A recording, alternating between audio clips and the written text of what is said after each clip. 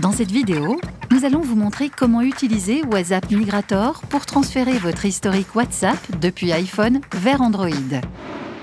En premier lieu, connectez votre iPhone à votre PC ou Mac et ouvrez iTunes. Cliquez sur l'icône de votre iPhone. Assurez-vous que la case « Chiffrer la sauvegarde locale » n'est pas cochée et appuyez sur « Backup Now ». Ensuite, ouvrez votre navigateur.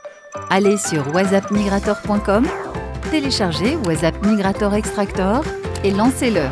Le programme détectera automatiquement votre sauvegarde et vous devez juste cliquer sur Extraire. Si vous le souhaitez, vous pouvez également téléverser automatiquement sur Google Drive pour une migration sans fil.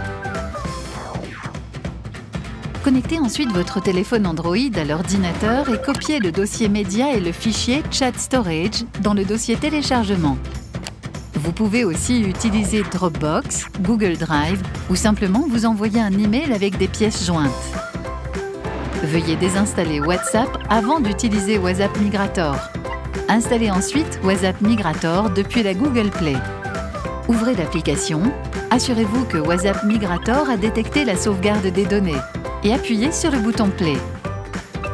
En seulement quelques secondes, l'historique de vos conversations sera transféré vers votre smartphone Android.